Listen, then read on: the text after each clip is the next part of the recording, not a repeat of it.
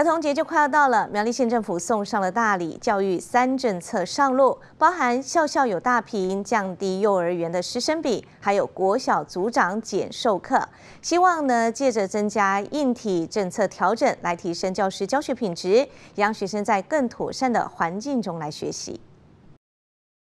苗栗县长钟东锦手拿平板和教师一起透过触控大屏学习，也再次宣告校校大屏的好消息。校校有大屏哈，我觉得会提高这个小朋友学习的乐趣哈，尤其国中，我想它的使用的范围会更广。触控大屏，全县一百四十五所学校受惠，翻转传统教学风貌。儿童节前夕，县府在加码两项教育政策调整上路。现在教育部的意思也是，呃，希望我们幼教的小朋友。可以一个老师带十二个同学，本来是一比十五，现在我们讲降到一比十二，就配合中央的政策，在这里教育方面哈，一定是我们呃县政府的团队非常重视的一个区块，所以我们一定会努力让我们苗栗的小朋友有更好的学习环境。幼儿园师生比将从一比十五逐年降低至一比十二，今年因应政策将扩增七名教保员，国小组长减授课也逐年推动。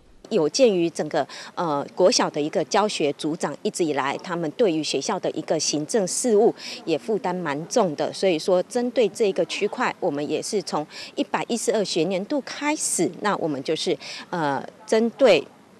整个比较小型的学校开始也分三年，让我们的一个教学组长能够每年每周减一堂课的模式，让教学组长更有时间去完善学校的一个行政、教学硬体政策调整，软硬兼具，期盼提升教学品质，也让学生在妥善的环境中成长。